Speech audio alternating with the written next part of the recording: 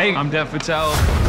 We're on set of my new movie, Monkey Man, my directorial debut. Spooky. Action!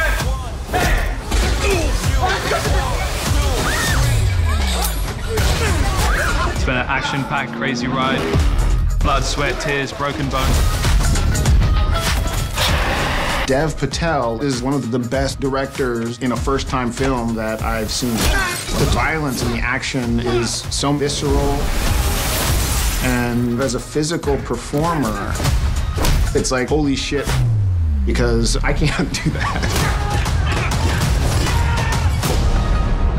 Every day, I've prayed for a way to protect the weak.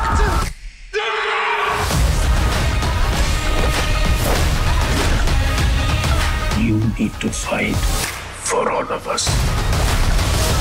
This film just vibrates with energy and soul and insane action.